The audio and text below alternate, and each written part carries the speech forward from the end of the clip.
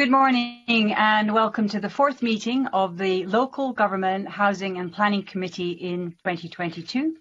I would like to ask all members and witnesses to ensure that their mobile phones are on silent and that all other notifications are turned off during the meeting. Our first agenda item today is to invite our new member, Graeme Dey, to declare any interest relevant to the work of the committee. In doing so, I'd like to welcome Graeme to the committee and I look forward working with you. Graeme. Uh, thank you, Convener. I'm not aware of any interests that I should declare that aren't already declared in my declaration of interests. Thank you very much and good to have you join us. The committee's next task is to choose a deputy convener. Uh, before doing so, I would like to put on record my thanks to Elena Whitham for the work she did on this committee as deputy convener. And uh, it was a great pleasure to work with her and I wish her all the best as she begins her new role as convener of the Social Justice and Social Security Committee. Parliament has agreed that only members of the Scottish National Party are eligible uh, uh, for nomination as deputy convener of this committee and I invite members of that party to nominate one of their number for this post. Nominate Willie Coffey, please. Thank you, Paul. That's great. Do we all agree to choose Willie Coffey as our deputy convener? Looks like we have agreement. So uh, congratulations, Willie. I look forward to working with you in this in your new role. Thank you. Our third item this morning is consideration of whether to take items five, six and seven in private. Item five will be an opportunity for members to consider the committee's response to the Finance and Public Administration Committee on the medium-term financial strategy. Item six will be a chance for the committee to agree its approach on the scrutiny of the Coronavirus Recovery and Reform Scotland Bill. And item seven will be an opportunity for the committee to agree its approach on the scrutiny of the Social Housing Charter. Do members agree to take items 5, 6 and 7 in private? It looks like we have agreement there. Moving on.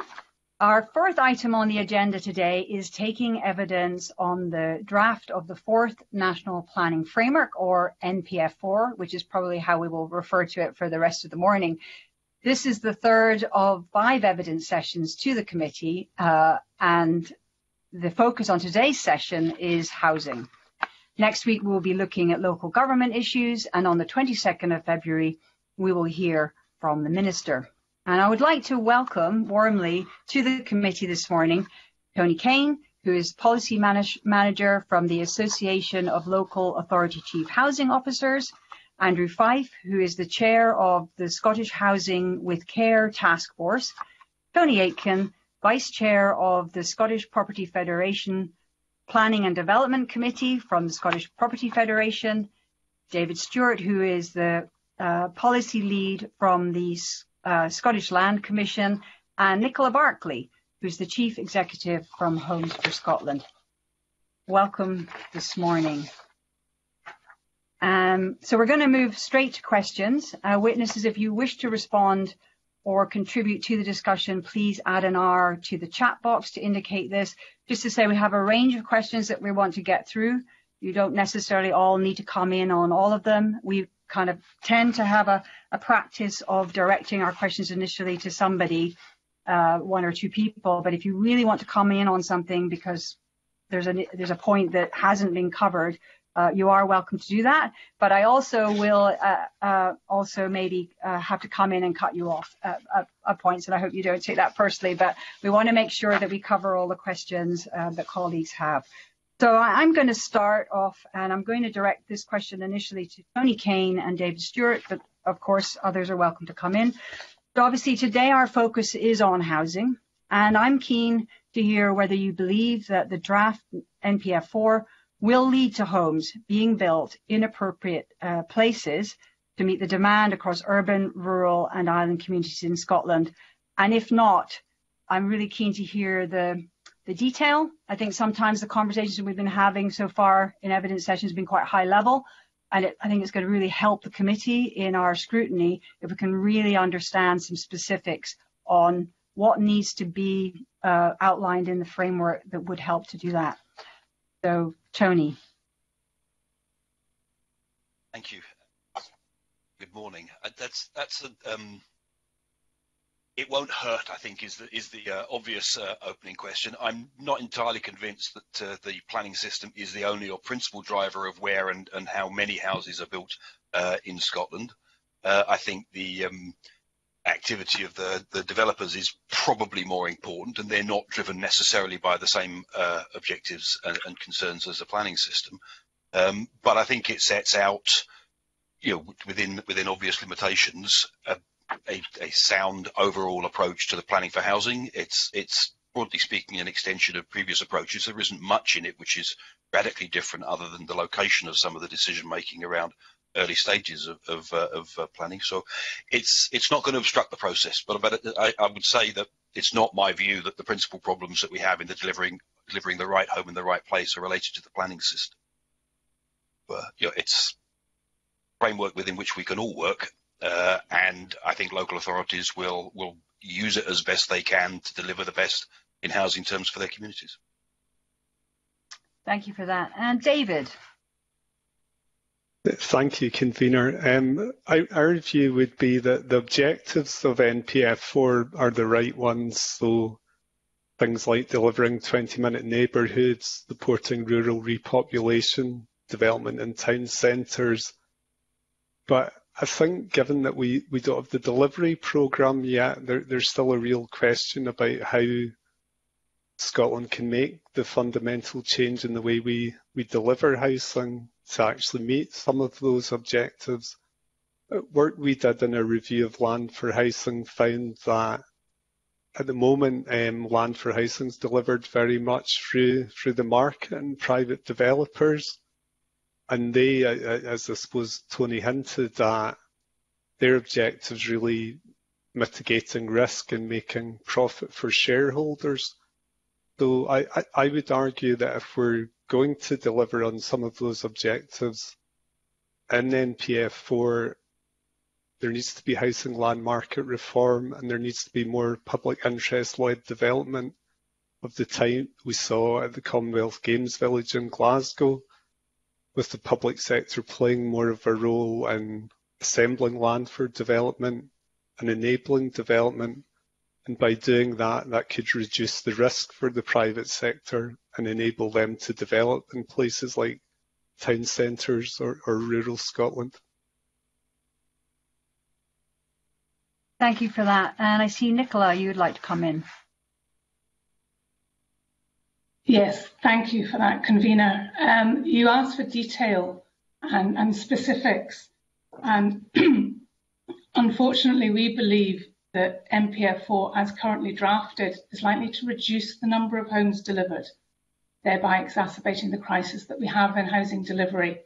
We, we know from reading Housing to 2040 and reading um, Scottish Government's population strategy that there's a real desire within government to deliver more homes um, so that everybody has a home and we can meet housing need.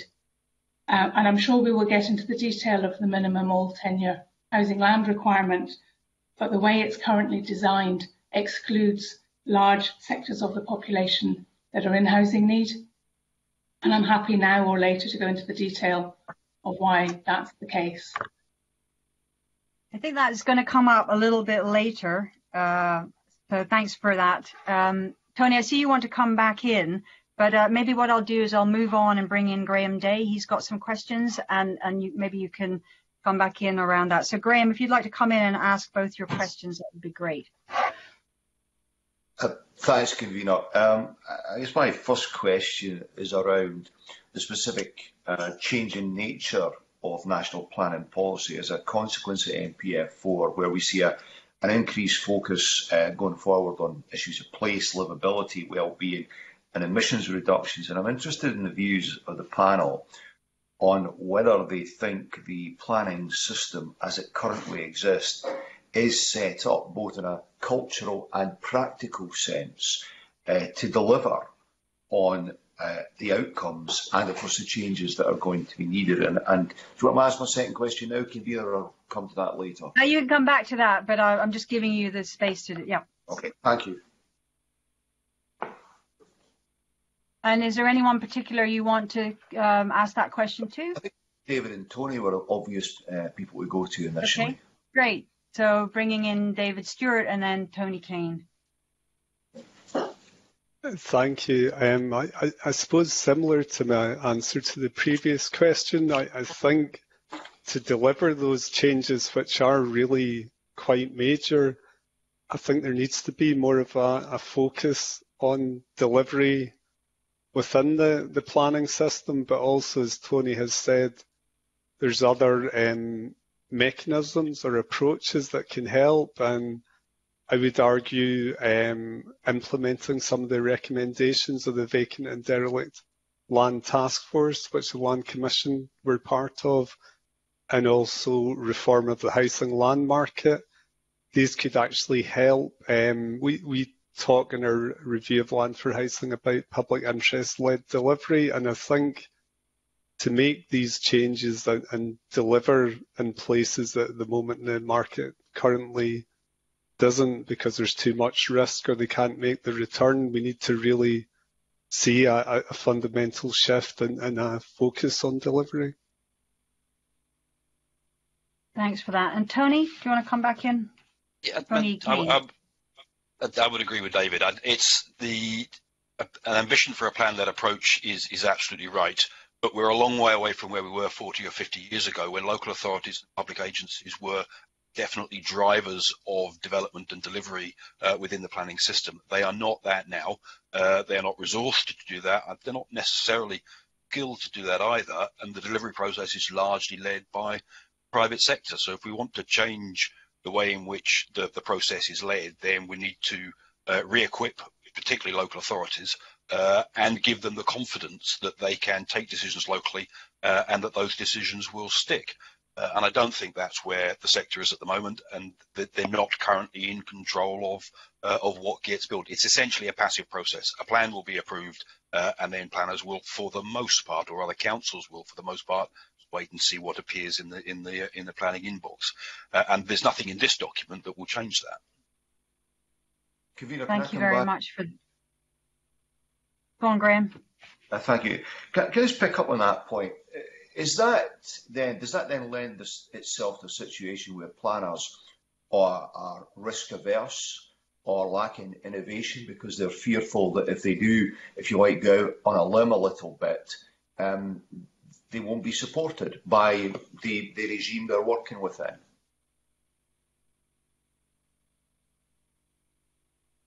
surely it's a concern about not being supported by their own authority. I think it's not always clear that uh, um, the Scottish Government or central government is going to support actions that are determined locally. So that's confidence in those decisions are important, and I uh, put it no more strongly than that.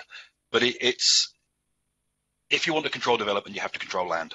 Local authorities and public sector does not do not control the land supply or the decisions that are made about particular sites that's largely controlled in the private sector, and it's those interests that determine the starting point uh, for discussions around any particular site. If you want to change that, I think you have to change the approach to land ownership and land control.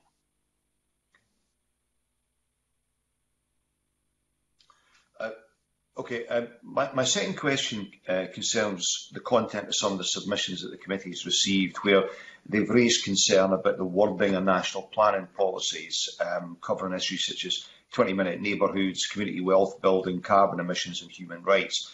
Uh, the assertion being that the wording is insufficiently clear for decision-making uh, purposes. Uh, do the panel agree with that? And, and is it more a case of the language that's used, or is it actually the substance of what's there that's the problem? Is there anyone specifically you'd like to um, pick that question up? Throw it open. Throw it open. Okay. Who would like to come in on that? You can put an R in the chat. That would be helpful. Looks like Nicola. Oh, Tony, Tony, and then Nicola. Great. Thanks. Uh, um, I'm going to actually defer to Nicola because my, my, response has gone out of my head. My apologies. All right, Nicola. Um, thank you, Tony. Um, I think there's a lack of clarity uh, around the description and in, in the appendices, the, the glossary isn't clear about that there is no definition of community wealth building within the glossary. The people are having to assume what that means. I think um, going back to your previous question as well about planning departments, not only do applicants not necessarily understand fully what that means, planning officers are having to use their own judgment to work out what that means. Um, for the first time, NPF4 will be part of the development management process. It will require this document to, um, to form their decision making on applications that come in. Previously, it's been a high level document, um, but this is really going to be embedded and it's going to have real bite.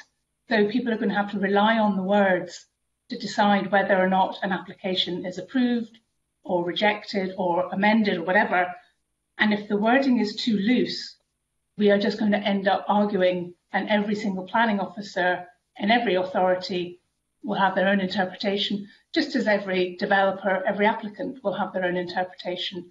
So I think clarity around the language is fundamental if we want this new NPF4 to be successful. Thanks, Nicola. Tony, have you have you remembered? To come back in? But yeah, my apologies. I, and, I, and I, I, agree with, with, with, Nicola. I think there are a number of points in which the, the language in the document are, isn't as clear uh, as it needs to be. I think it isn't as directive as it might be. The, the, the words like should and may uh, appear more often than perhaps is helpful, and uh, and being a bit more directive would be helpful. But I also think there are points in which some of the, the, conceptual approaches are confused as well. And one that really jumped out for me was was on, on page 15, affordable homes, which talks about affordable homes being provided to offset the impact of second homes and short-term lets. I absolutely do not think that is why we, provide affordable homes uh, in, in rural areas, and I think there's something deeply problematic about simply giving up on the impact that second homes and short-term lets uh, and investing £200,000 a home to make up for the fact that the market is driving uh, properties away from availability to local communities. So there's there is there, there is some woolly thinking in there, and there is um, one or two key areas, I think, where the language isn't properly defined and isn't properly developed. Thank you. Thank, thanks for that specificity. That's really, really helpful. Um, I don't see anyone else wanting to come in on this question, so I'm going to uh, move on, and I'm just I'm going to pick up a question around um, how well um, do you think that the NPF4 links with other Scottish Government policy and investment priorities particularly around housing. So we had that kind of brought up in the last session where there was, um, yeah, there were there's lots of policies already in play and a, and a sense that it didn't link. But specifically around housing, do, do, do, any of you? I'll just put this open because I'm aware others haven't had a chance to speak yet. Um, open to anyone. Have you kind of noticed any policies? Are they linking well, or do are we just kind of like is the does the framework just kind of undermine it or step over it, uh, not even acknowledge it exists? So I see Andrew and then Nicola. Hi. Yeah, um, thanks, convener. Um, I'll speak specifically to, to senior housing, um, which is kind of my area of, of expertise. And in terms of kind of linking through with, with other policy, it's important to start sort of with the legislation. So if you look at the Planning Scotland Act 2019, the Scottish ministers have a duty um, to report on housing need every two years in respect of older people um, and how the planning system helps us to build more housing uh, that, that residents need. Um, similarly, if you look at the consultation produced by the Government of Scotland for the Future, uh, if I can quote directly, it says NPF4 will also need to fulfil a statutory obligation to set out how it will support homes for older people and disabled people as a result of the Planning Scotland Act 2019. Um, if you then kind of follow that logic through to, to NPF4, you've only got in that document three references to older people in 131 pages. Um, and two of those references come in, in the annexes. So to my mind, you know, and, and that's similar with Housing to 2040. There's very little mention of independent living. Um, so to my mind, that doesn't equate with some of the other policy documents that we've seen before uh, or consultation documents. That's very helpful. Thank you very much for that. Uh, Nicola. thank you. And on a, on a similar theme, really, when I look through NPF4, there is no reference to the government's document Housing to 2040. Um, and yet Housing to 2040 is the, the core document to deliver the housing that we need over the next 20 years. Um, and also, when I look at the Scottish Government's first population strategy that was delivered, uh, sorry, produced last March, it talks about the lack of adequate housing and an inability to live near your extended family as being a reason why we have reduced birth rates. And this is a document which is talking about how we change the demographics of the country, how we have more working age people, how we increase the birth rate. So that makes a really clear link through why housing has an impact on our, on our population. But NPF4 doesn't refer to that at all. So I think there's a real disconnect um, with the document and wider Scottish Government policy. Um, you know, NPF4 is the spatial manifestation of government policy. It should be showing us in physical form how government policy will be implemented. It very clearly recognises the climate emergency, and rightly so, and it very clearly references the nature crisis. Now, housing should be the third leg of that stool. We have a housing crisis, but it is completely disregarded here. And all three of these crises, if that's a word, are of equal importance. And they don't sit particularly comfortably together, but that's the job of government and everybody within the environment of, of working in Scotland that we need to work out how we strike a balance between all three of those issues. Um, the way NPF4 is drafted at the moment, housing will not be delivered for the people that need them, and that's a fundamental concern. Thank you for that, Nicola. And Tony, I see you would like to come back in with the last statement there from Nicola, absolutely, I think there are, but I also agree that there are um, weaknesses in the links between this document and some other strategies that either are in place or should be in place or will be in place. So I don't think it deals directly enough with population challenges that we face and the 2020 projections, which this is not based on, I think raise some genuinely worrying concerns about uh, what Scotland's going to look like in, in 30 or 40 years time. I think if you look at the pattern of population decline, which now is becoming established, uh, it's focused in um, west central Scotland, particularly uh, Ayrshires, Inverclyde, uh, Argyll and Bute, those areas, and we have a massive over concentration of development and and housing wealth in east and, uh, and around Edinburgh and the Lothians, and I think this is hugely problematic.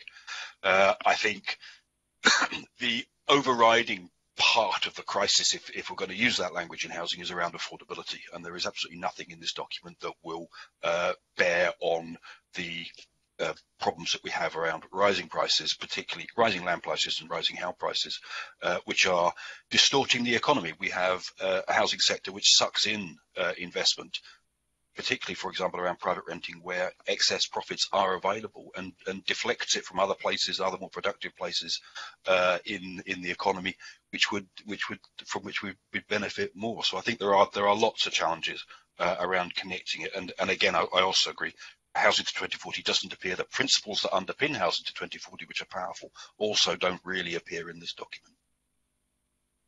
Thank you for that. Um, I'm now going to move on to um, bring in Miles Briggs with some questions. Uh, thank you, convener. Good morning to the panel. Thanks for joining us uh, this morning. I wanted to ask a few questions with regards to the minimum housing or tenure land requirement. Um, and firstly, to to ask uh, what your views were with regards to the process and the methodology as well, which has been used uh, to establish this. Um, I'll maybe start um, with yourself, Tony, as you sort of touched upon issues with regards to housing in Lothian. Um, and if anyone else would like to come in, can you put an R in the chat? I, the, the methodology that's been followed around the minimum all tenure housing land requirements has been established as part of the overall approach to assessing housing needs and demands for 20 years, the HNDA approach. It's as sound as any other approach that, that I have worked with. But I think we have to acknowledge that, and it has produced numbers which, are, which many people have expressed concern about because they seem very low in some areas. That's being driven by the demographics. Um, I think the trick here is a is, and, but it also points to the fact that more homes isn't necessarily uh, the principal concern. It's not obvious that there is a shortage of homes in Scotland. Um, it is clear that there are access problems and there are substantial affordability problems, and these are the areas where, where we need to focus. So as a platform for allowing local authorities to make decisions around their own local needs, uh, properly connected to their ability to grow uh, or rather uh, sustain their local economies uh, and meet local community needs, I think they are, they are they are fit for purpose. I mean, uh, this, this is a, an art, not a science. Uh, let's be honest.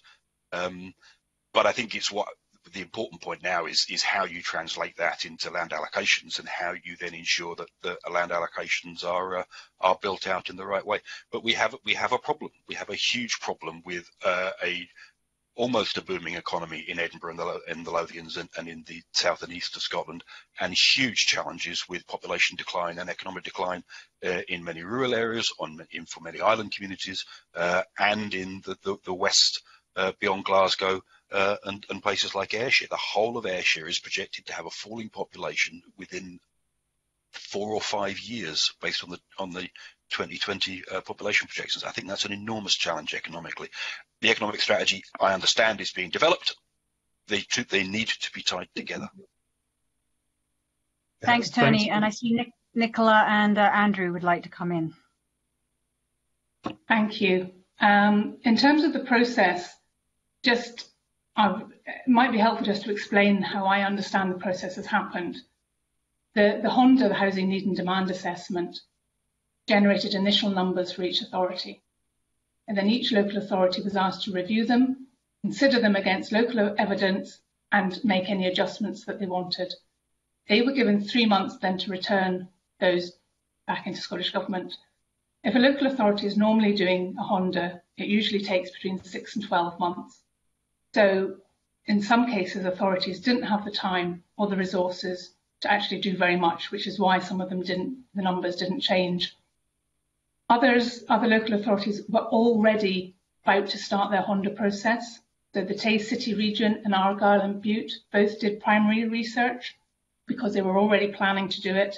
So they had the funding and the resources in place to do the work, um, which is why we have this disparity if you compare what went out to what came back.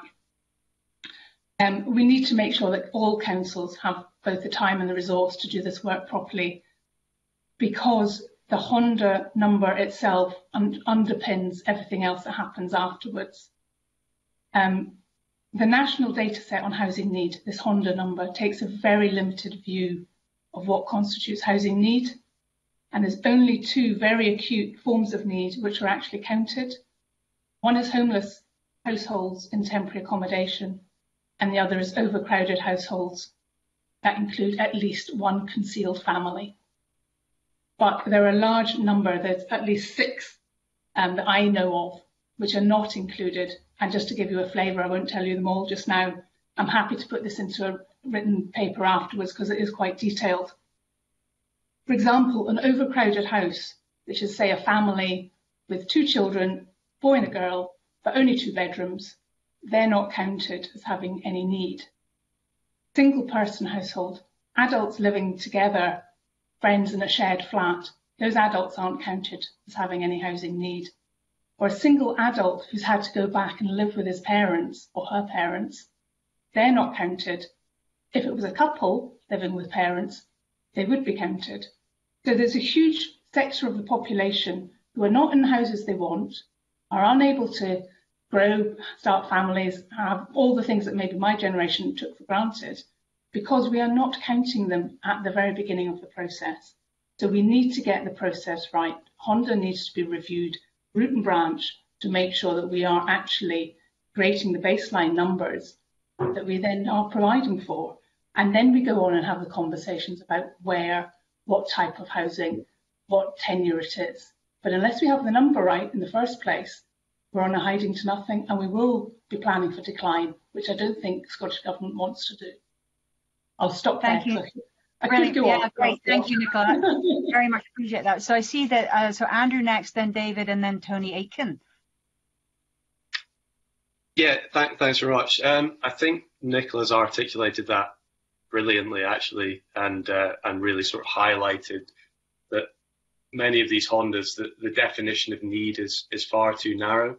Um, I, I just wanted to add to that point in the context of senior housing, um, because another party that is not considered um, in the context of the Honda is, for example, an older person living in a four bedroom house, which may well not be appropriate for them in terms of accessibility uh, and other matters. And, and this is a really important point because if, if, if they're not considered within housing need, then it's seen by local authorities that there's no need to build any other form of accommodation um, for that type of person. So we're, we've, we very much got this gap between mainstream housing uh, and going into a care home, um, and and nothing in between. And if we if we don't do better to offer more housing choice to that type of person, they're stuck between a rock and a hard place because they're not ready to go to a care home, but they're finding it very difficult to move to live in in mainstream housing. And and we shouldn't underestimate the benefits of providing better housing choice in that space in between. Because ultimately, if, if you can provide that choice for someone that gives them the confidence to go and live somewhere where they have a chance to interact with loads of people, feel less lonely, have a better quality of life, that's great for that person. But it also frees up that four bedroom house for a couple who want to move into that house to start a family. And it goes even further down the line, you know, because they move on their flat becomes available for a first time buyer. So it, without having to actually build more housing, you're freeing up two lots of housing down the chain. So I, I really think that's an important point to, to make. Thanks very much. David.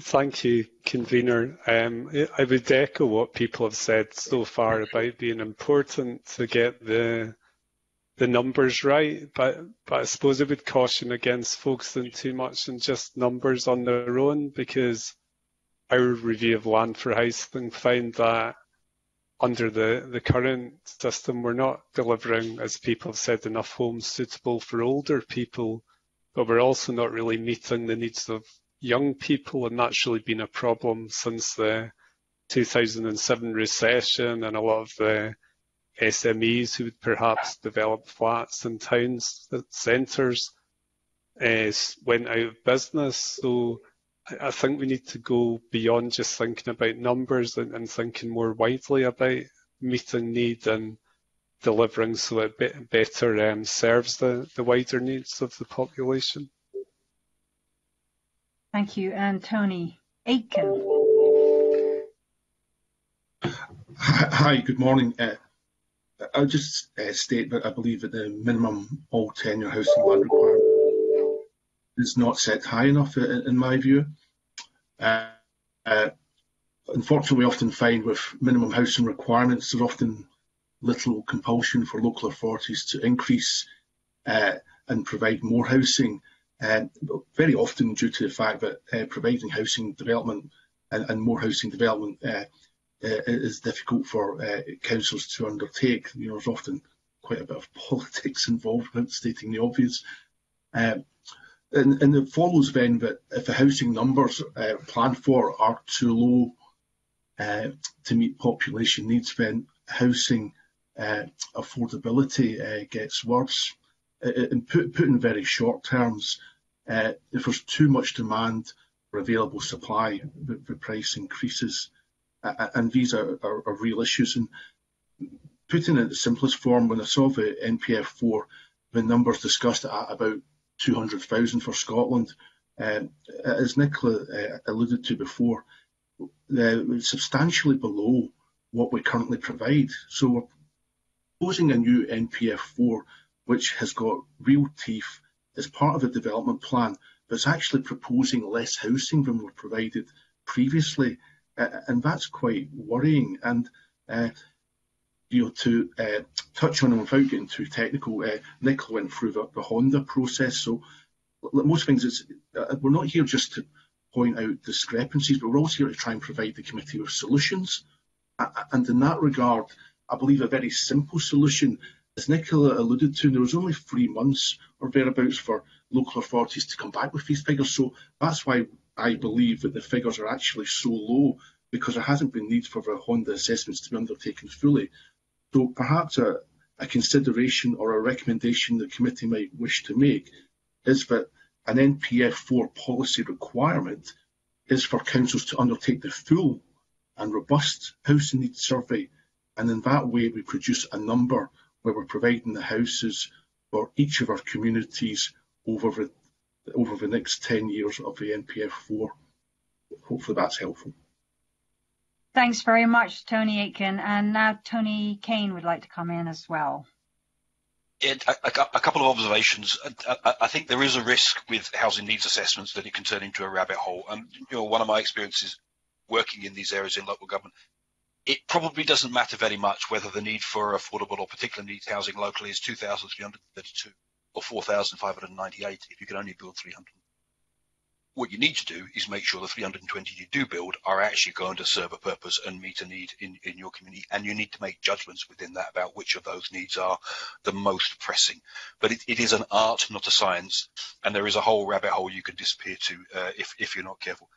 I mean, the other comments I would make is that in terms of housing for older people, housing for older people is absolutely fundamentally an issue in the unoccupied sector vast majority of people over 60 and, and over 70 or 80 are owners. You're in that 90% of people over 70 uh, are owners and meeting their needs as they age something that needs to be done, will have to be done in the occupied sector because the public sector simply can't meet those needs uh, in, in total.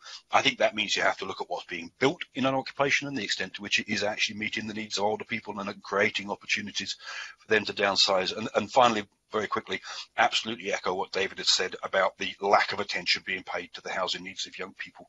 When we talk about young people, we tend to talk about students uh, and the university path through student accommodation.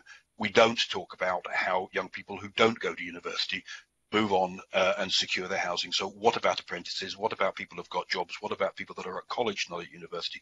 We don't have a pathway and we don't have a clear um, approach to ensure, and we don't, we don't even have a service strand, particularly within the public, public sector housing, about ensuring that we meet the needs of, of new forming uh, younger households. It's very definitely a gap. Thank you. Uh, Miles, do you want to come back? Uh, yes, please, Convener. Um, and thank you for those answers. That was helpful. I think you're right. It is an art form, not necessarily a science. But one one of the issues I wanted to raise, and it, this was pointed out in Homes for Scotland's useful uh, briefing ahead of uh, today, was around flexibility and how can we point towards what that should look like. Um, and one of the issues which um, was highlighted was alternative sites being given planning permission for housing if those allocated in local development plans do not prove to be deliverable. Um, so I just wondered, in terms of that flexibility, if we're not going to um, see a change in how these estimates are um, brought about, what that would look like to be able to direct new developments uh, specifically to where they're needed. Um, and just wondered what your thoughts were on that. I'll maybe bring in Nicola as that, as I mentioned, Homes for Scotland's call for that flexibility. Thanks, Camina. Thank you. And Yes, you're right. We've got in um, policy 9b um, a kind of a mechanism for bringing forward sites um, which have already been identified. I think if we have to kind of go back to first principles, one of the biggest challenges with the planning system is keeping the communities that will be impacted by new development up to date. So they have an ability to comment on, on suitable sites. So we're really keen that the sites which come forward for housing communities already know about them. So this policy here does say that longer term sites should be brought forward early if some of the shorter term sites aren't delivering as planned. Now, the, the, one of the fundamental issues with that is the chances are it's been identified as a longer term site for a specific reason, probably because you're waiting for a big piece of infrastructure to be delivered and it's in somebody else's capital spending plan for example, Scottish Water, and they're not going to be coming to this particular project for another five years. So you can't very quickly bring that site forward. Just doesn't happen like that. So it's whether or not we need to have another bank of sites available which community are aware of that can then be fed in. Um, and as much as Tony says we shouldn't go down the rabbit hole of housing numbers, if we get the housing numbers right to start with and allocate enough land to deliver those housing sites, we need less flexibility. It's the constraining of the supply which is stopping um, us, us from delivering the houses that we need because if one site that's been allocated can't be delivered, then you've got nowhere else to go and you end up not being able to meet the needs of that, that local population. So I think we need to look at the flexibility and just relying on longer term sites is maybe a little bit too simplistic an answer when you think of the technical reasons why sites don't come forward quickly. Thanks, Nicola. I want to bring in Tony Aitken. I know, Tony, you wanted to comment on the previous question again, but maybe you want to come in on this and you can bring in your other points. Yes, thank you for that. Uh, yes, it was just going the, the phrase of uh, uh, uh, you know go, going down the, the, rabbit hole of uh, numbers is not not something we wish to do today. But I, think what we want to be uh, quite clear about is if a local authority say we need a thousand houses over the next 10 years in our local authority area, there has to be uh, a requirement to ensure that we actually deliver that thousand houses. Because failing to do that means that we're failing to deliver the homes that our communities need. And, and that's uh, a, a, main point which I wish to make, and that's uh, something which we're, we're, really focused on, ensuring that uh, housing uh, delivery is brought forward and delivered in full. because, uh, because actually failing to do that, you know, we're, we're failing our communities uh, and, and uh, the, the, the, people in our, in our local areas by, by not providing the homes that we actually need locally. So that's a really important point. So it's not trying to go down a rabbit hole of numbers, it's trying to provide the homes our communities need and ensure that they're delivered. And I think some of the points which were made by, by Nicola insofar as uh, uh, short-term sites, uh, long-term sites, but having alternative sites available as well to fulfil those supply requirements uh, if there's a if there's a if there's a if there's a difficulty with a site coming forward, that's that's really quite important. Thank you. Thank you. Uh, and uh, Tony Cain. We talk, we're talking about the planning process as if it is some kind of, of, of straitjacket around where and what can be developed. It is the case and always has been the case that what is built over a planned period will include a significant number of, of windfall sites, small sites often developed by uh, smaller uh, construction companies which appear opportunistic. And in some areas, this is, is high, higher levels of, of, windfall sites than, than in others. In certainly the authority I work for, you could typically expect a quarter or more of the housing output to be on backland sites and windfall sites that appeared opportunistically. So it is not the case that it's only the land that is allocated that is ever built on. There is within the, the way the system works, the way the use of buildings change, uh, always opportunities for, for additional sites to come forward. This is, but pipeline is about good planning. I think if a site is there longer term, it's, it's there for a good reason as a longer term site. Uh, I, I, the other thing that occurs is there's a, there's a rather glib reference to deallocating sites that aren't being brought forward. Deallocating a site which is uh, which has been included within a, a local plan or, or is difficult. In fact, the, the only sites I've ever known to be taken out of uh, a structural plan or a local plan have been publicly owned sites, um, and it's always a contest with the private owner if you deallocate a site. So there's some reality checks, I think, in there as well around the way in which the system works um, in the real world.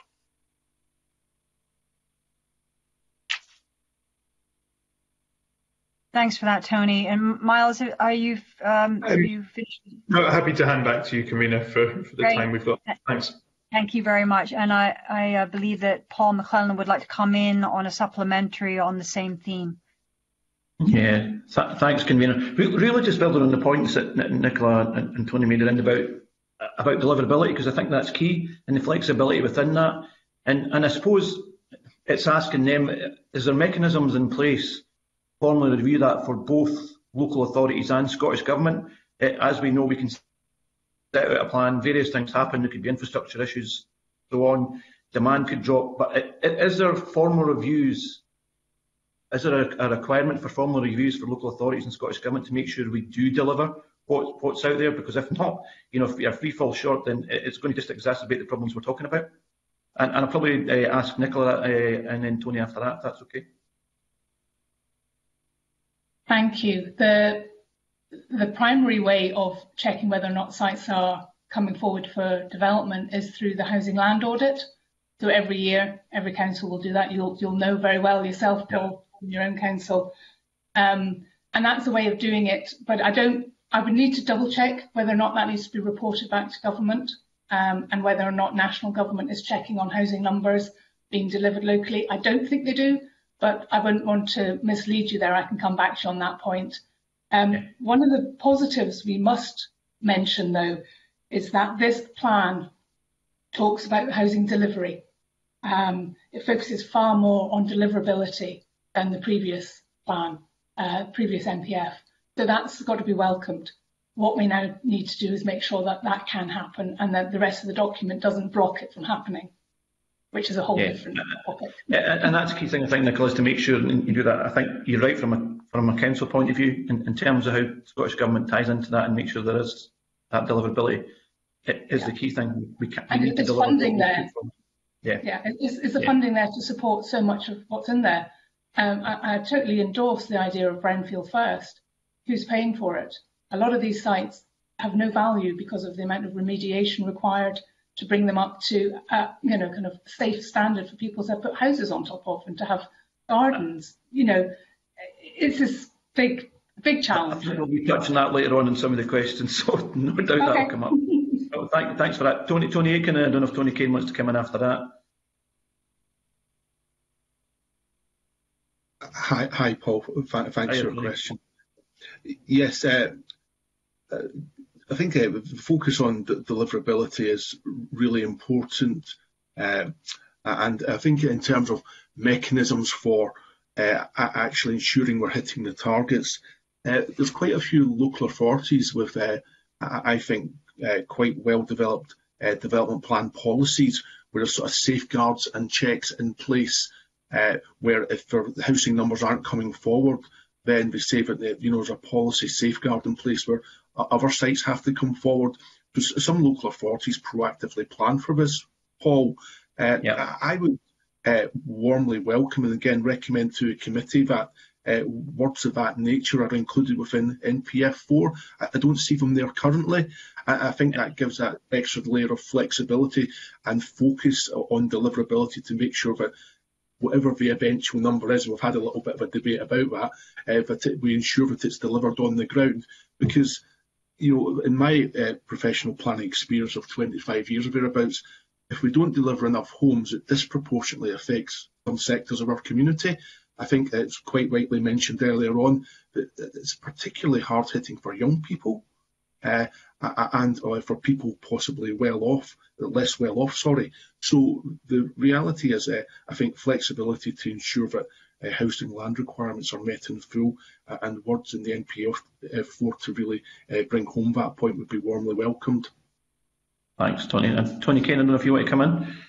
Just very quickly, almost all, all of the major sites within any local, local development plan will have a developer associated with them, and that developer will be very good at understanding deliverability. And I think, generally speaking, the uh, uh, local authorities and developers are good at working together, understanding deliverability concerns, and, and, and working them through issues around infrastructure are likely to be the most pressing element of it, and we still don't have a, a, a, properly effective approach to delivering infrastructure first. And I think some of the work that uh, uh, Dave Stewart and his colleagues have been doing around land value capture and how you fund infrastructure, I think is is is genuinely very important. I think there will be emerging issues around the electricity grid as we shift away from fossil fuels and put more demand uh, on the grid. And I think that's something that we probably ought to be worrying about.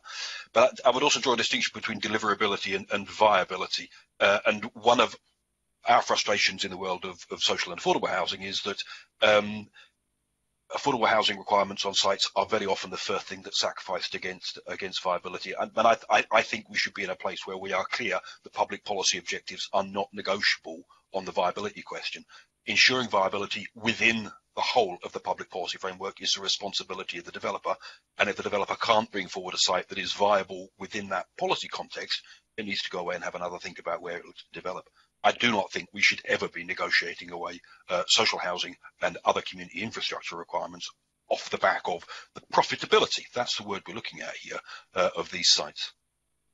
Thank you, Convener. Thank you. That was very helpful. uh, Paul, um, you're you're you're up with your next question. Do you want to pick that up? It, it's yeah, kind of yeah. Long, but I think it would be great to ask it anyway.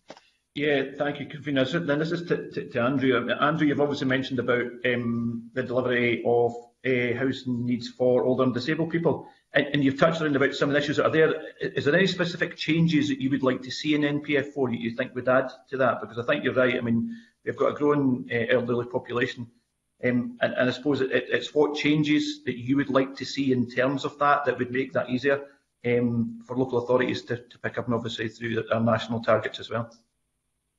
And that's for Andrew. Thanks, Paul. Um, well, yeah, no, I think the word targets is, is probably the first thing that I would like to address. So, you know, we've obviously got the MATHLR, which which outlines targets for local authorities for for more general housing, I think it's really important that somewhere within the document we have targets for senior housing.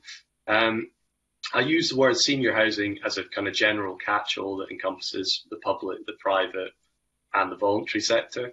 Um, what I'm particularly advocating for in terms of the Housing with Care Task Force are the, the most recent terminology is integrated retirement communities. Um, so we're talking about retirement villages which come with services on site. And, and just to give you a flavour for how far we are behind versus some of the leading nations in the world. For example, the likes of New Zealand, Australia, USA have around about 5% um, supply versus a number of over 65s uh, in, in their country in terms of housing with care. Um, for Scotland at the moment, that level of supply is, is well below 1%.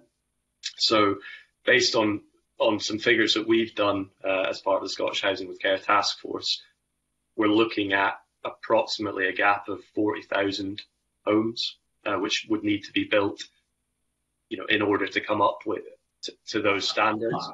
Andrew, just, sorry, just on that, just on that point, can can you cl clarify, I suppose, to the committee, just how you got to that figure, just so we understand that? Because again, you know, I think that's the really important point you mentioned is understanding that that demand, and it comes back to the point I think Nicola talked about about the Honda before, and this is trying to understand the actual demand and need for uh, extra care, you know, housing care. Um, so could you just give a little bit background about how you actually got to that figure?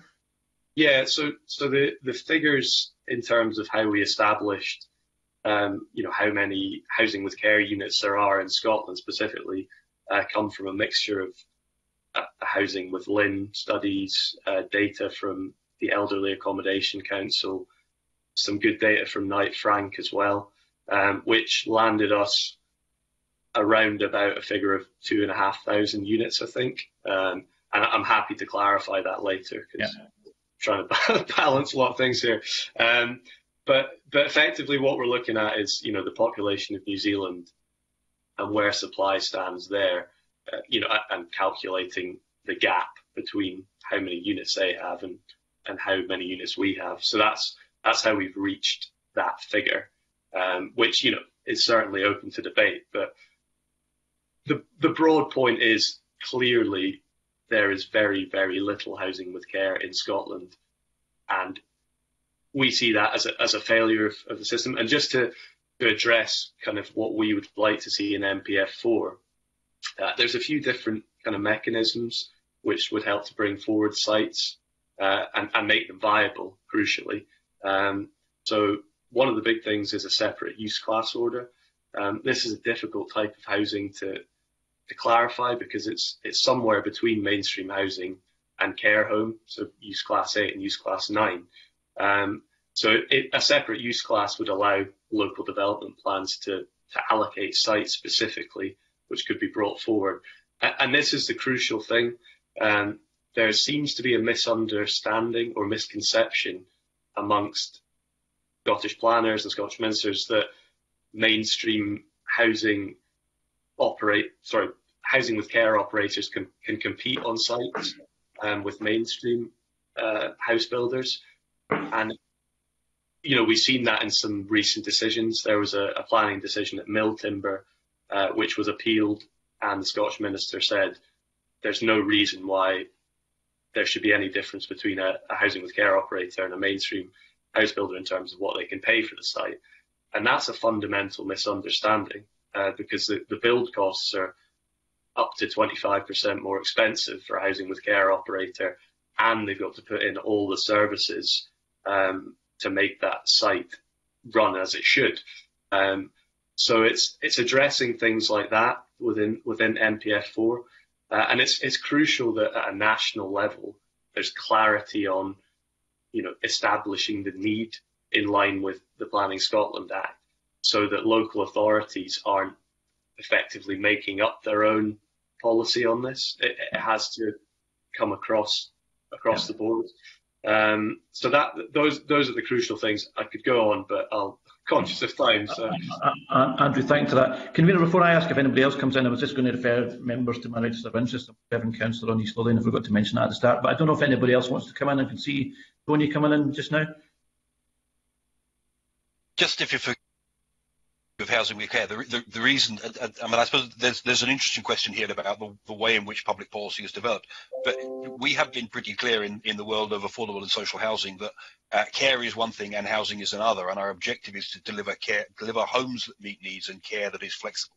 Uh, we don't build housing with care because we deliver the care flexibly around the homes that people are in. And that's been the policy position for, for 30 years. You know, so we aren't, other than in, in relatively specialist um, broadly speaking, congregate uh, uh, provision, very often driven by economics, and that's problematic when it comes to delivering high quality care and high quality housing.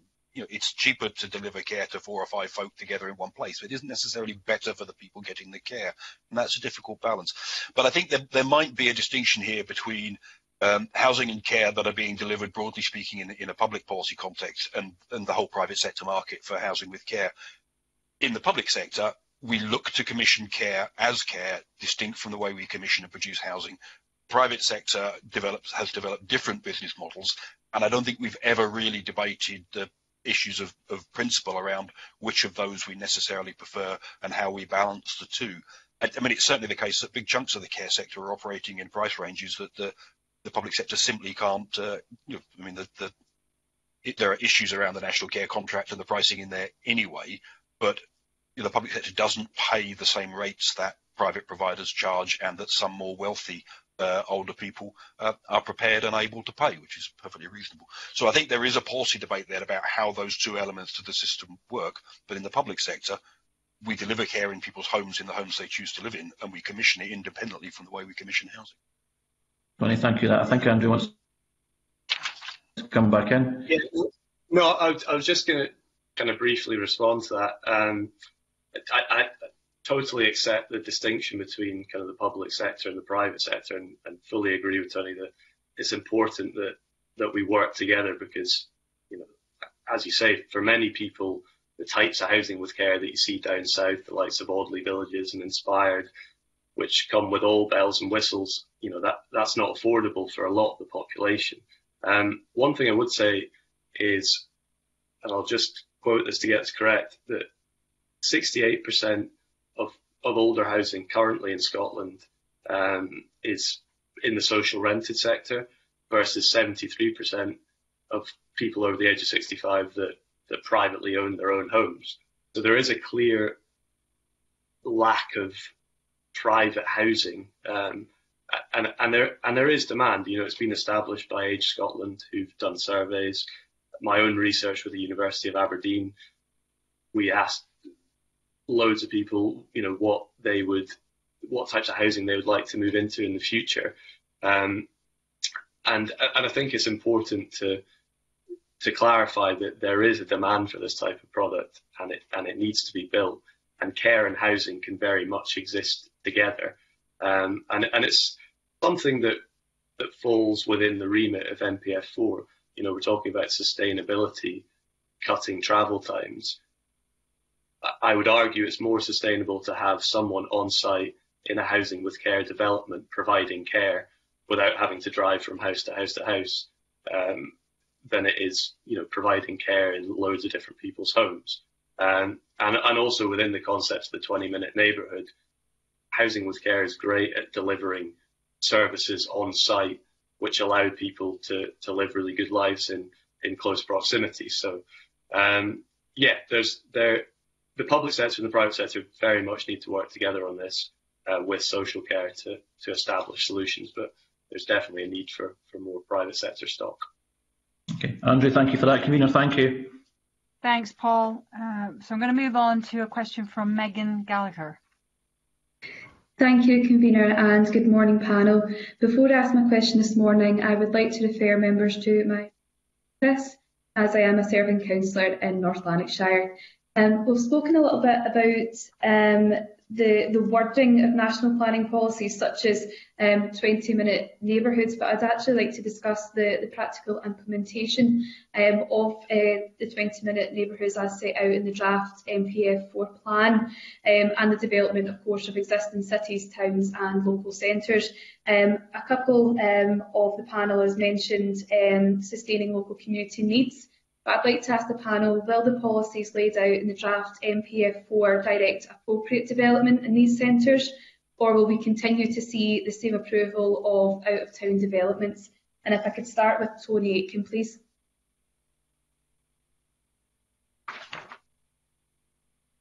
Thank you. Yes, I think uh, the out-of-town development which you referred to uh, there is uh, certainly out of town retail development is a phenomenon that happened in the 80s and 90s, uh, uh, and really that, that uh, market is kind of uh, uh, on the wane, so to speak. I think that there's less requirements for that, uh, and I think in, in many respects, the the 20 minute neighbourhood concept is sound. I think what we have to do is ensure it applies to.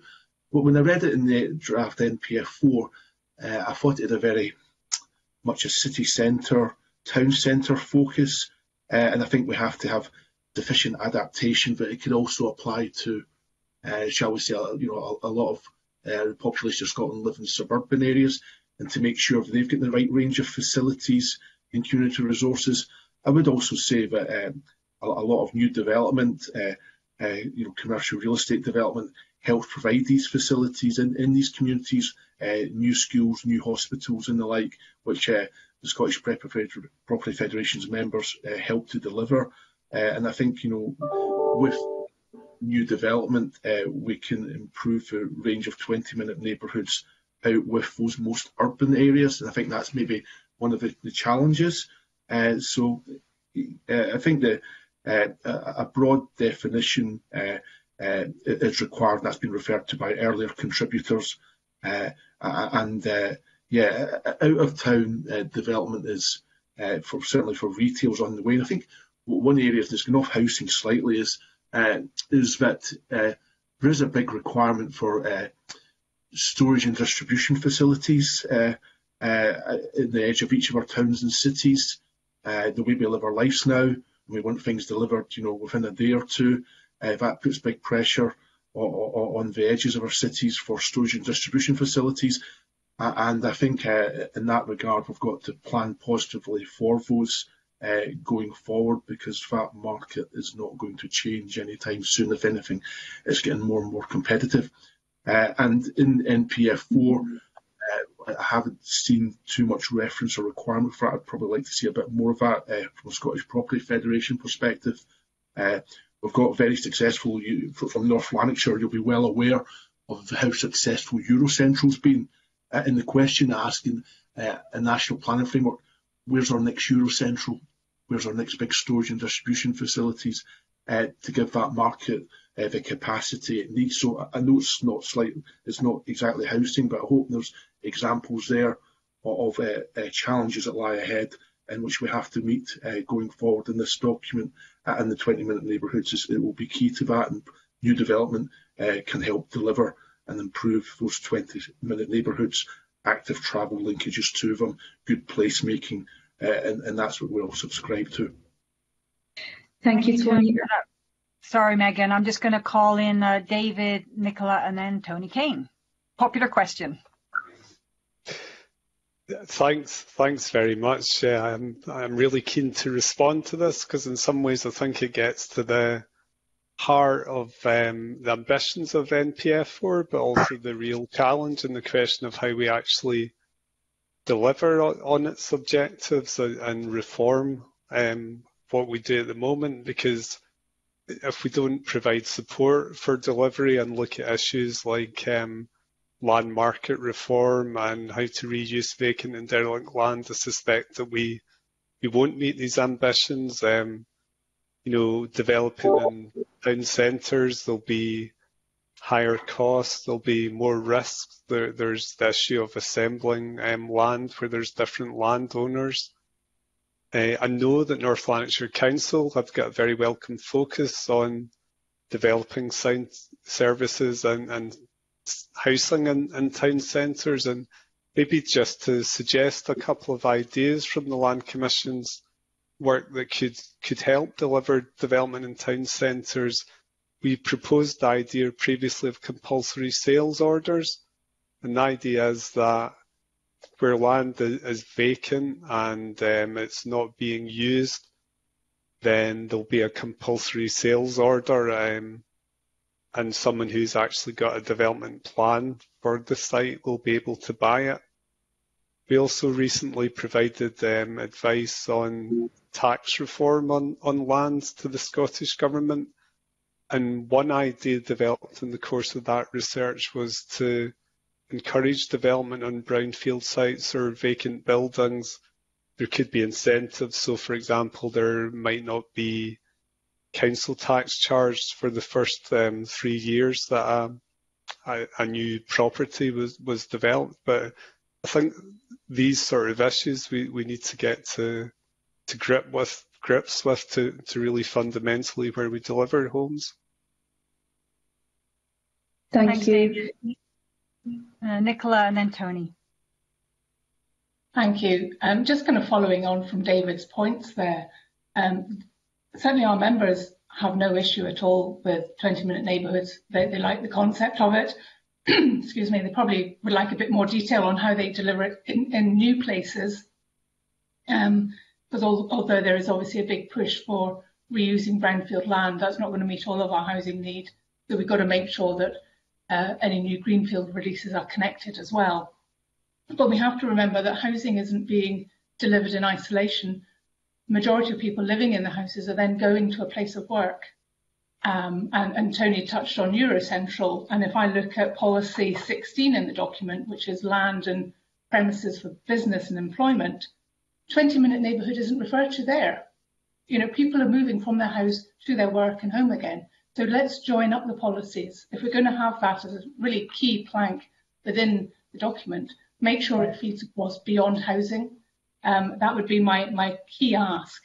And of course, we need to work together, public and private sector, because so many of the policy objectives will be delivered outside of the site that is owned and controlled by a developer.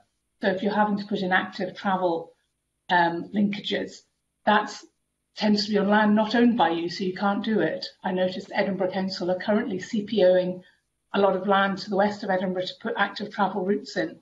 We need a much more uh, kind of streamlined, connected approach to deliver these policy objectives. It, it, doesn't fall on any one person to do it. Um, so I think the aims are laudable. The practical delivery of it will not be easy. And unless we all get around the table at the start and work out how it's done and who's paying for it all is a very fundamental question. Um, I, am worried that it'll sit in the plan and won't actually turn up outside our doors, which is what we actually want to happen. Thank you. Tony. Tony Cain. Yes, picking up, I think, on, on, on, a, on a point that Nicola made earlier on, to the extent that you're looking to create 20, 20 minute neighbourhoods within urban areas by reusing existing land, Nicola's already made the point that this is expensive, it's difficult, ownership patterns can be uh, a major obstacle. Uh, and these are the types of, of developments where you absolutely need to have a public sector agency leading the process, developing for the possibility of councils, for example, building for sale is something that's currently being looked at by colleagues in the Scottish Futures Trust, which I think is a really, really useful uh, conversation. And it's within these types of, of inner urban brownfield developments that that could be most effective. And we do have a substantial problem of dereliction in many of our town and city centres. We probably need to. But I think my other point about uh, 20 minute neighbourhoods is that it also needs to start to inform public service delivery and design. If you want a 20 minute neighbourhood within which you have health services and libraries and a post office uh, and leisure facilities and parks and a travel system which supports that, particularly in rural areas where if you don't own a car, you generally you will genuinely struggle because public transport is very often woefully inadequate. So you can't have 20 minute neighbourhoods if you don't invest heavily in the local provision of public services. And the, the last 20 years has been largely about uh, of public services and stripping them out uh, of local communities. How many communities have a library within three miles, which is broadly speaking the, the, the guidance that uh, library professionals would give about access to libraries, and it would fit with the with the 20-minute neighbourhoods. We, we, have we are we have lost many of our most accessible public services, and if, if you want a 20-minute neighbourhood, you're going to have to invest in them uh, in a substantial way, and that isn't what's happening at the moment. Thank you, Tony. Thanks, convener. I know we're conscious of time. Thanks, Meghan. Um, I really appreciate the consciousness of time. We've got a few more questions to get, get through, and I'd like to bring in Willie Coffey. Thanks very much, Ariane, and good morning to the panel. I, I wonder if I could just go back to a point that uh, Tony Cain made earlier. Tony, you were talking about, I think, the disparity in housing supply between East and West Scotland, and you mentioned Ayrshire and particular, is it is it fair for us to expect the NPF 4 to address that? Should should there be a direct linkage in the NPF 4 and that issue? I mean, we're we're talking about economic development and regeneration, and housing and land supply will generally follow that, won't it?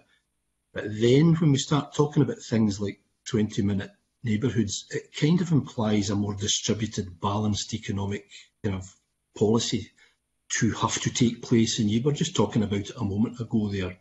So could I have your thoughts just on, on that issue and, and Ayrshire in particular? I mean, the north of Kilmarnock is pretty much booming in terms of housing development and Stewarton as well, but uh, for the rest of Ayrshire, that's not the case. So um, could I have your thoughts on, on that issue, please, and whether NPF4 is the place for us to try to address this? I, I, think the, I mean, there have to be limits on what NPF4 could do. I, I should say that I, when, when I point to the Ayrshires, I'm simply picking an area where a substantial area, and it's not just the Ayrshires because it comes all the way around into Inverclyde, where we have a uh, medium-term challenge around population decline, and there will be areas in there which are booming, and the local authorities are working hard to address the, the, negative impacts of population change. I absolutely know that. So I'm not picking on anybody in that sense. And and I'm not saying no that the, the economic strategy should be built into NPF4. What, what I think I was saying is that we need to have a clear connection between our ambitions for the distribute for, for the, where jobs and good quality and well-paid jobs are across Scotland, uh, and and how we try and develop the housing system to support that. And at the moment, we are at risk, I think, of presiding over. Um, a differential or a two two pace um, development process where some areas, quite substantial areas, genuinely struggle with the, with the challenges of economic decline and population decline, and other areas just suck in wealth and suck in investment. Um, and, and we need to balance that. The economic strategy is clearly a very, very important part of how you balance it. I understand it's in development, it's not in this document, but it isn't really referred to very strongly in this document either.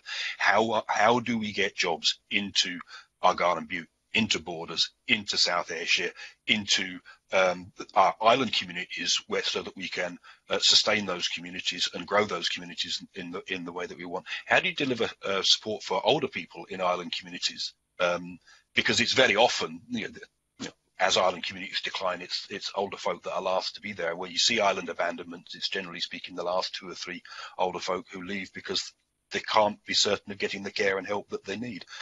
So it's it's integrating those different elements of the planning process that I'm pointing to. And, and your point about 20 minute neighbourhoods, my apologies, I, I, I, didn't quite catch it. The second I, it's the, the concept of 20 minute neighbourhoods kind of implies that there needs to be a broader, more distributed set of services, whatever they are, and also economic opportunity, I would say. Is that what you would understand by yeah, the implications that, that, of developing a policy like that? Yeah, absolutely, and, and, it's it's a measure of the way in which the uh, urban planning uh, has changed. I, I, was brought up in in a town where all, everybody worked in the town. It, it was half an hour's trip from London, Welwyn Garden City, but almost everybody um, around me, all the families around me, everybody worked within the Garden City. Nobody commuted. It's now a commuter town. The employment opportunities have just ebbed away within the town, and it's not unique. Uh, and everybody now travels to London, and it's like, how do you reverse that kind of change, or how do you build a different trend in where jobs are located? And I, and I mean quality jobs. I don't think the answer to jobs in rural areas is to encourage people with uh, well-paying uh, uh, city jobs to move out and work um, on on IT. I think it's about how you create jobs that are rooted in that those areas that are um, in agriculture, in the in but you know jobs that, that are directly linked to those communities and to that land, not necessarily tourism, um, which features in one or two places uh, in this because it's insecure and it's low paid. Um, but it's about how you build how you build sustainable jobs in those local communities, and in particular in rural areas, how you build an economy based on that rural area, whether it's an agricultural economy or a forestry economy or, or whatever it is. But I, I don't think um, folk having jobs in the city working remotely is is is the main part of that challenge. I think it's it's developing um, genuinely circular local economies that support uh, quality jobs. You know, in, in that in that context, it it is hugely challenging. There's no question about that. Mm -hmm. Thanks for that, Tony. Um, my, my second question, really, and I'll, I'll throw it open uh, to the panel. It's, it's turning the focus onto our town centres, the, the urban setting, and how we encourage and promote housing, perhaps in the town setting. And you must surely be aware of many of the issues that you can see in any of Scotland's high streets, where you have parcels of derelict land and, and so on, and often empty, derelict shops you know, blighting the urban landscape and how do the panel think we can address that issue? And one of the associated issues with this that we heard from the East Ayrshire officials the other week was about when trying to put some housing and encourage housing developments within our town centres, we, we have to be increasingly mindful of flood risk, and that's an increasing problem year on year now. And do you think we need to be pushing some ideas of how to solve this uh, if we're serious about redeveloping our town centres and making them the attractive place that we want them to be to live. So maybe I could ask David to, to start with that one and maybe Nicola to come in. Yeah, thanks very much, Deputy Convener. I, I think it's a really important issue I, and I'm aware to an extent of the, the challenges um, close to Kilmarnock Town Centre we've been involved with some work looking at um, supporting development. Just briefly to say vacant and derelict land is such a huge issue for Scotland. Work the Land Commission was involved with found that a third of the population lives within 500 metres of vacant land. And when you get to areas that are higher on the indices of multiple deprivation, that goes up to two thirds. So it's a challenge, but then what you can actually achieve if you can develop on these sites is is huge. I, think really the, the answer to delivery there is you need to have this public interest led development approach that I, I talked about before. The market won't on its own deliver on these sites, and you really need a range of, of public agencies to work together on issues, as you say, like flood risk and planning at a more regional level. And I believe um, the key agencies who are um, a group of uh, statutory planning consultees such as SEPA and Architecture and Design Scotland have been talking to, to East Ayrshire Council about that site and, and maybe just to mention that the Clyde Mission, one of the national developments, that approach I think is planned for there, where it's looking at the, the land in the Clyde corridor in the round and not just looking at development and vacant land, but also looking at flood risk adaptation and taking a more regional view. And I, I think really that's that's the sort of approach that has to be taken, along with, as I said earlier, looking at mechanisms to incentivise reuse of vacant land and buildings. Mm -hmm. Thanks, David. Nicola, are you coming in on this one? I know from my membership the, the kind of developer that's attracted to inner city, you know, redevelopment sites, whether it's conversions or whether it's new build within an urban core, tend to be the SMEs and we have seen since 2008, and, I think it's been mentioned earlier today, um, that so many SMEs went out of business.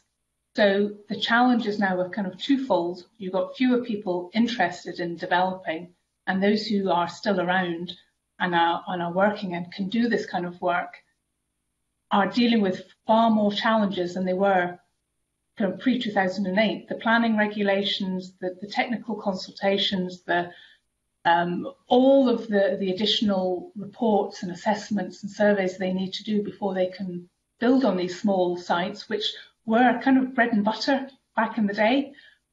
It's much harder for them to do that. So, as David is saying, I think we need this joined up approach. I've seen the brilliant work that the Scottish Empty Homes Partnership has done to bring empty homes back into use.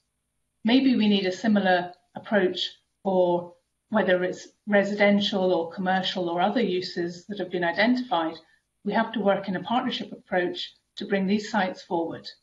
And then we have to bring the key agencies, the infrastructure providers. One of the biggest challenges for, you, you mentioned flooding, one of the other bigger challenges is that Scottish Water's um, policies will not allow you to connect into a combined sewer.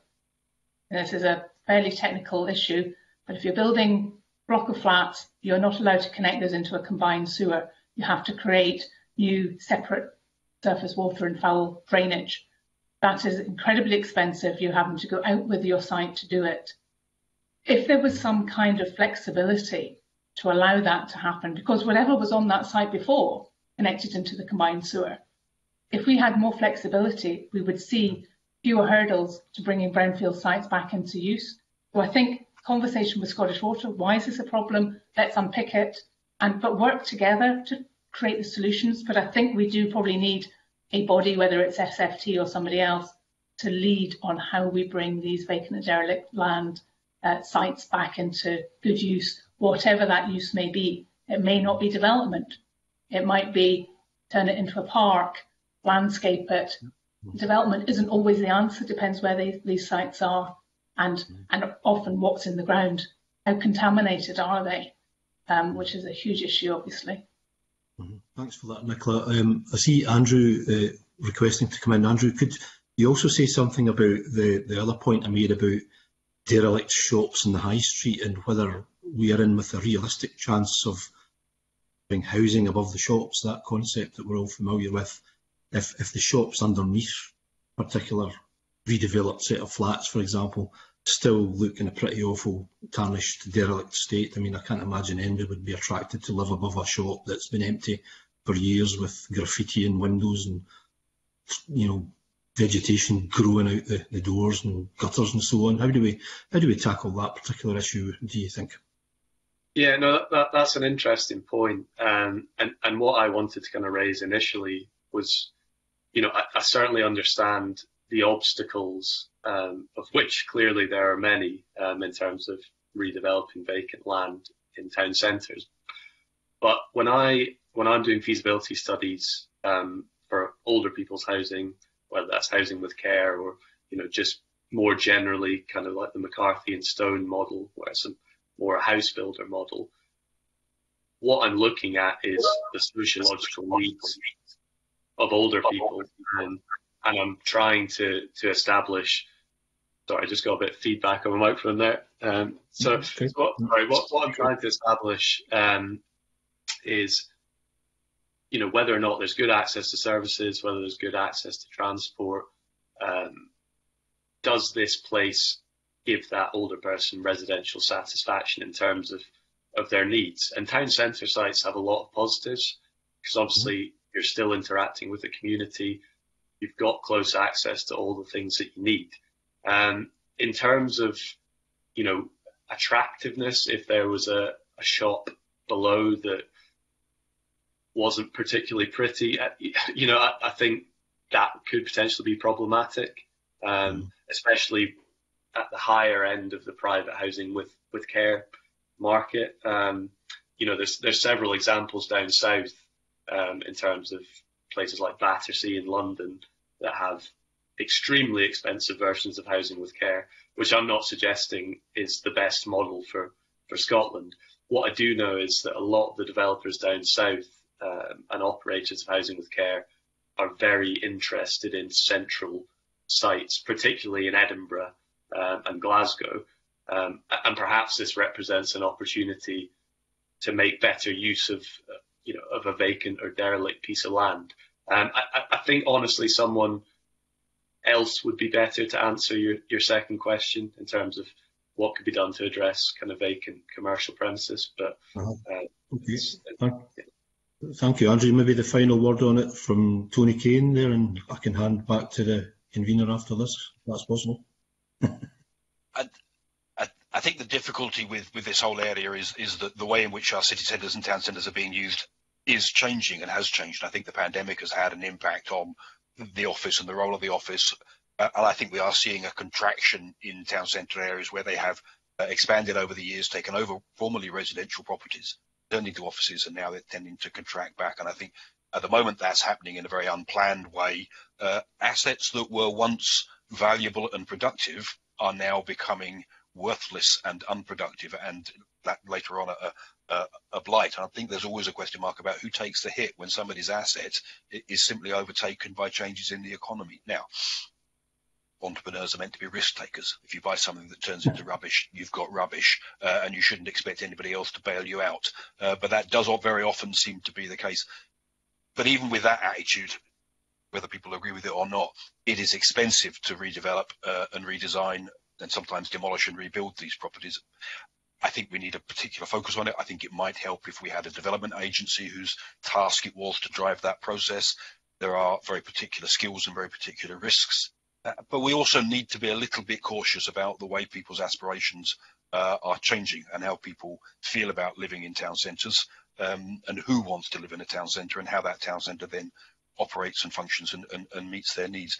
Much of the talk in recent weeks, recent months has been folk looking to move out of urban areas, buy more space, buy because they're now working from home I think that this is a bit of a niche view, um, and most folk are still not working from home because they don't have jobs you can do it at home. They have they have other kinds of jobs. So it's but there is something about understanding those changing views around these spaces uh, and working with the grain of that change in demand and desire rather than trying to invent it. And I think that, that it is difficult and it will take time. But there's no question there are too many derelict and underused or unused buildings in our urban areas, and we don't have a properly effective way of, of, uh, of, of addressing that.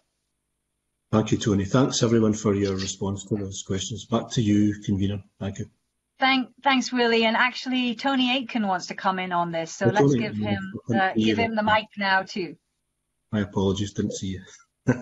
Thank you. No, just a, a, point on this. I think one manner in which we can maybe improve and ensure that there's less dereliction or, or vacancy in shops is uh, perhaps to increase uh, the flexibility in the use classes order, so you can go from one use to another. I always believe that uh, a, a, property being utilised is better than it being vacant because uh, you know planning policy prescribes that uh, that's not an acceptable use in that area or something of that nature. And uh, I think uh, greater flexibility in the use classes order could perhaps assist that. There's also a, a wider commercial property debate about uh, premises, and it's probably a separate committee to do with uh, rates uh, and the rates levels in some of our towns and cities, and that's been seen as a barrier also, which has perhaps increased some dereliction uh, uh, and, and, vacancy rates as well. So uh, it is very complex, but I think anything which can encourage the occupancy of, of shops within our towns and cities is, is welcomed and, and, that should be fought through fully. Mm. Thanks very much for that, Tony. Yeah, thanks, convener. Thanks, Willie. Uh, so I just want to let you know that we're almost at 11.30, but uh, if it's all right with everybody, we'll run over a little bit. I'm keen to bring Mark in with a few questions and, and then maybe see if there's anything else we need to, to bring in. So Mark Griffin, would you like to come in? Thank, thanks, convener. Uh, the draft plan and framework states that, um, I'm quoting, we want an infrastructure first approach to be embedded in Scotland's planning system. Wanted to ask um, members on the panel this morning what they feel an infrastructure first approach should look like, whether NPF4 will deliver that, um, and if not, what changes would they potentially suggest? Um, I, I don't know, maybe come to, to Nicola first. Thank you. I'm happy to take that question. Yeah, I mean, infrastructure itself, or what is infrastructure? It means different things to different people. Is it the road? Is it the uh, the water? Is it the railway line? It's all of that, plus it's the education provision, uh, the healthcare provision, everything effectively that you need. And, and some would say that housing is an infrastructure itself as well, but that's maybe a different debate for another day. Um, so we absolutely support an infrastructure first approach because one of the biggest challenges to getting sites out the ground is the lack of infrastructure and the lack of um, joined up thinking maybe when a site was allocated in the first place. Um, so often we have sites allocated in the plan, uh, planning application goes in, and then education department says, well, we don't have any capacity in the school. We need to put a school on that site as well as housing. So, so that is a, a very simple example of where an infrastructure last approach has been taken and it just delays sites and it's, it, it, you end up in years and years of negotiations, arguing with the landowner, with the developers, with the, the council, and, and it's just not how we should be delivering homes. And, and that's not a plan-led system. The plan-led system needs, needs to make sure that any sites allocated, you already know that there is water available, that it's not on a floodplain, that there is capacity on the road, there is capacity in the school, or you're going to do something about all of these things. So it's really, really important that we um, program the sites to tie in with when infrastructure will be provided as well. I mentioned earlier about you can't always bring forward longer term sites um, because they're longer term for a reason, and that's principally around delivery of infrastructure. So it's it's a real issue. I'm not convinced that there's enough detail in NPF4 to tell us whether that is deliverable. There's no delivery plan that we've seen yet. I know that they're waiting until they have a finalised draft of the NPF4 to create a delivery plan. It would have been really, really helpful to even just to have a draft so we could have seen their thinking around that. That would, I would say, is probably the the biggest issue that I've heard from members is there's just no route map. How do we get from this document to actually delivering on the ground? Um, local authorities are very good at delivery plans. It'd be great if um, Scottish Government could, could do the same as well so we can see, because infrastructure is absolutely fundamental to getting the communities built that we want with all the infrastructure that they need. So let's, you know, show us your workings. Let's see what you what you mean by that. Thank you, Nicola. And David Stewart wants to come in as well. Yeah, thank you. I'm fully supportive of an infrastructure first approach. I think in terms of delivering the quality of places that you would want and 20 minute neighbourhoods and active travel, that approach is essential. I think it's too early to say whether NPF4 will deliver it. And, and really, I would echo Nicola's points that without being able to comment on the delivery plan or delivery programme, it's difficult to say. But maybe briefly, if I could mention a, a couple of ideas from our research that can help to deliver infrastructure on sites. Um, we carried out research looking at how some European countries deliver housing and placemaking.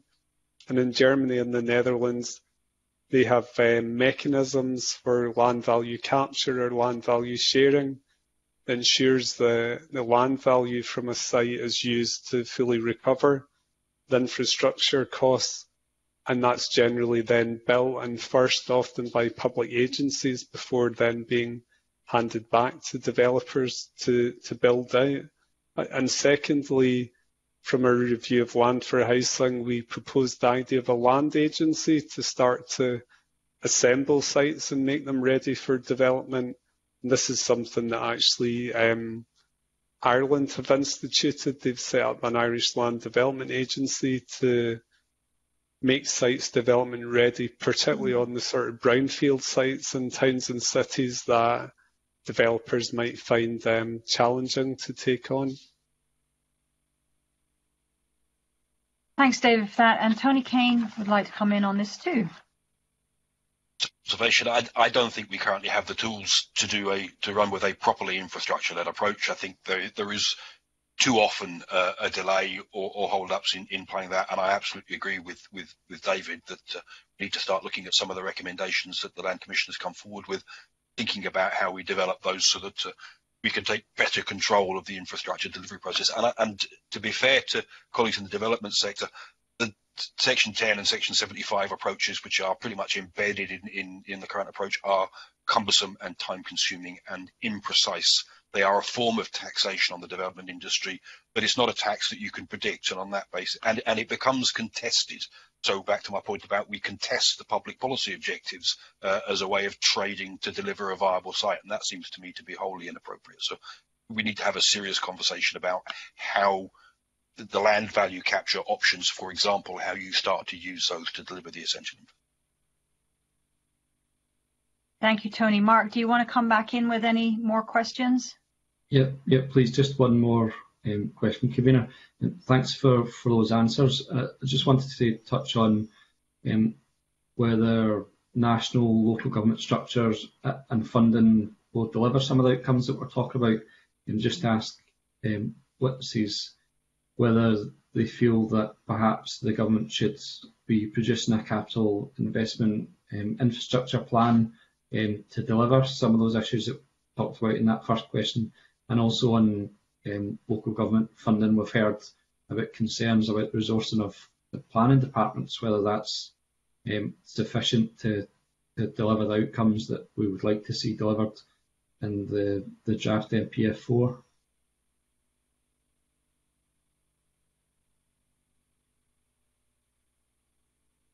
Nicola, if you'd like to start. Yeah, uh, happy to comment on that, Mark. Um, we obviously, I've, heard the evidence that's been given in previous sessions, and many others have commented on the lack of resourcing within planning departments being a fundamental issue for delivering uh, the policy objectives of NPF4, and I wholeheartedly agree that that is a massive challenge for all of us. Uh, nobody benefits from under-resourced planning department, and it's not just the planning department. Um, we've lost um, the conservation officers even having somebody within the education department who's able to comment on um, capacity of schools is, is a skill set that's being lost. There are so many parts of the council that have to feed into the process. Um, and if they don't have the resources, it just slows everything down. So really makes delivery difficult. And so a capital investment plan from the national level would be hugely welcomed. Um, not sure how realistic it is, but it would be hugely welcomed. And, and going back to Tony Cain's point, we've been using Section 75s for many years. Um, I know there's talk about looking at an infrastructure levy. Let's look at this. Uh, we've seen, unfortunately, in England how the community infrastructure levy didn't really work very well. They're now trying to look at another one. So let's maybe learn mistakes from other countries and try and develop things, uh, as David said, point to other countries where they're doing things well. Um, Ireland, and, and see whether there's something we can work on together in Scotland because I don't think, I mean, developers are happy to pay as they do with Section 75s already, um, and Scottish Government, and developers may have to work together to deliver what is required. Um, the only other thing I just wanted to mention, you talked about, is it Scottish Government or local authorities? We need to remember infrastructure often crosses the boundaries of local authorities. So we used to have that middle tier of, of regional councils that would do a lot of that regional infrastructure delivery. We don't have any obvious mechanism for doing that now. Um, housing developments sometimes cross boundaries as well. So we've got to be quite creative in this and not be too prescriptive that it's just a local authority or it's just government and look across at, at what is needed across maybe housing market areas, which which don't um, take account of local authority boundaries. Thank you, Nicola, for that response. And Tony Cain, you'd like to come in on this as well. Just to agree with and reinforce what, what, what Nicola has just said, the, the reduction in resources across local government over the last 20 years has had an impact on a whole range of things which most folk would never notice, but remain absolutely essential to be able to do the detail of this kind of work effectively. As well as seeing the resources in planning services thinned out, the conservation officers going, enforcement activity failing, uh, fading away. These are issues. We've also lost in the world of housing the capacity to carry out uh, um, housing needs surveys on a regular basis, even house condition studies. We now have almost no reliable evidence locally or nationally about the condition uh, of the existing stock and the, the, the house condition survey uh, currently run by the Scottish Government is having to aggregate three years of data to get one one report each year.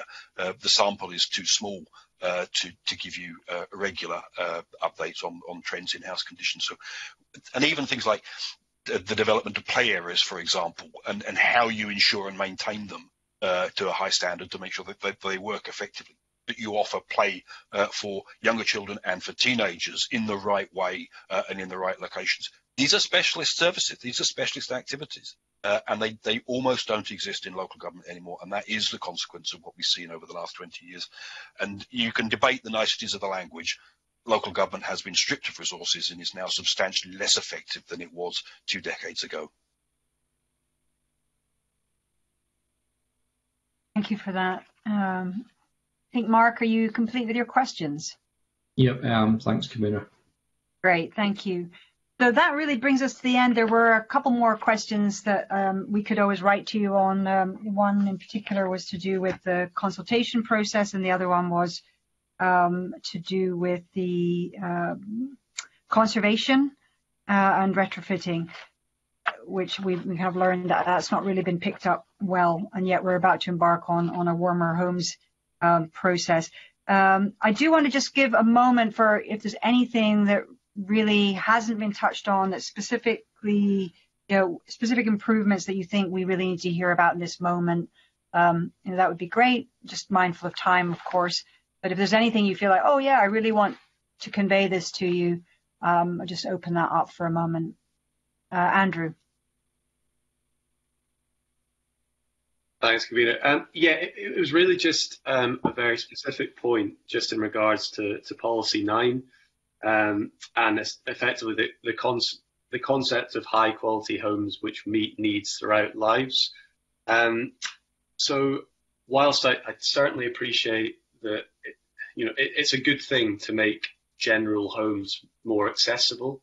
Um, I think the concept is fundamentally flawed because you can't realistically create a home that's going to suit everyone throughout every stage of their lives, you know, even on the basis of, of the number of bedrooms. Um, you know, if you're a single older person living in a four bed house, as I've kind of touched upon, um, you know, that might not be suitable. And regardless of how accessible that home is, it probably doesn't fit your need as well as something else could do.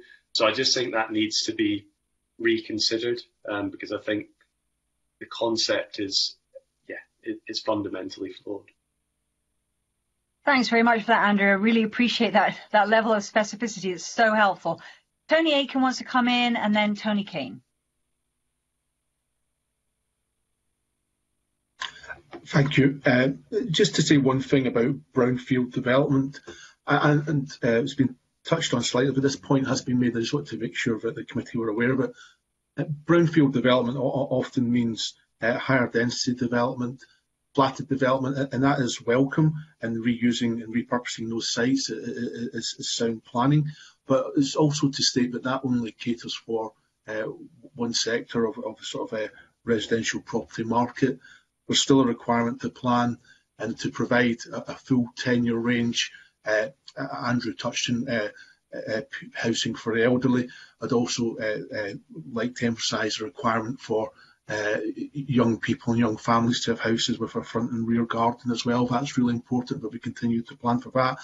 From Scottish Property Federation perspective, uh, the requirement for brownfield development is actually uh, in turn uh, producing in certain circumstances uh, less employment sites because obviously if we're turned to residential uh, then there's, there has to be a proper plan for future employment sites as well because if if, brown, brownfield lands develop for residential, which outstrips uh, the value of an employment site, then we have to make sure that those local jobs are provided uh, and kept locally, and we properly plan for uh, uh, future employment and commercial real estate sites uh, in plans going forward, and that should be a key plank of NPF4 as well.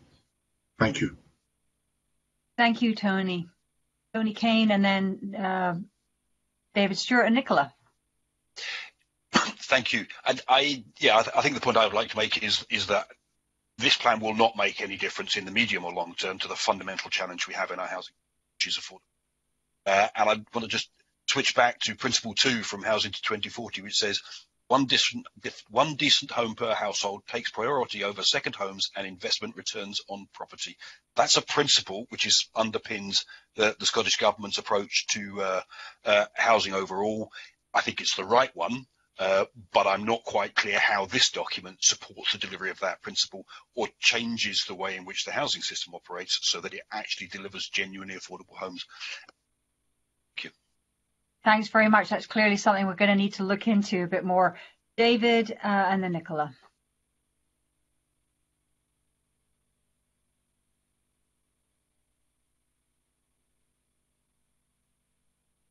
For sustainable, the role of sympathetic rural and rural planning. Sorry, David, can I, can I, I'm just going to interrupt. We missed you were clipped off a little a few times right at the beginning. If you could start again, that would be great. Want to hear everything you have to say. Okay. Sorry, yeah, I just wanted to mention the importance of providing support for sustainable rural housing and the role of uh, sympathetic rural planning and development policies. And one other thing, if I could, um, the, the benefits of in-depth early community engagement to delivering better places and also securing support for housing. Could, could you just expand just a little bit briefly on what you mean by that support, support for sustainable rural housing?